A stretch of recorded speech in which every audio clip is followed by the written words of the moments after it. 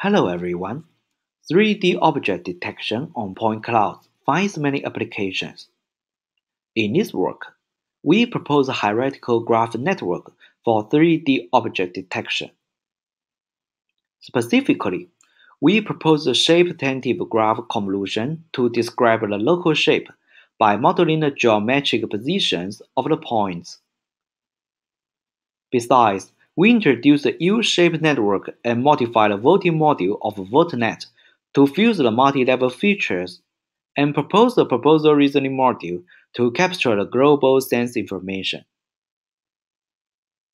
Consequently, our framework outperforms state-of-the-art methods, and the visualization shows the proposed graph convolution is sensitive to the local shape. Thank you for listening.